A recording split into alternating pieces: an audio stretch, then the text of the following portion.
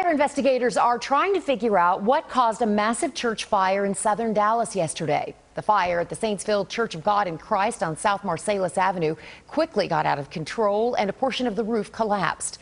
The dangerous heat made conditions much tougher for firefighters with temperatures nearing 110 degrees.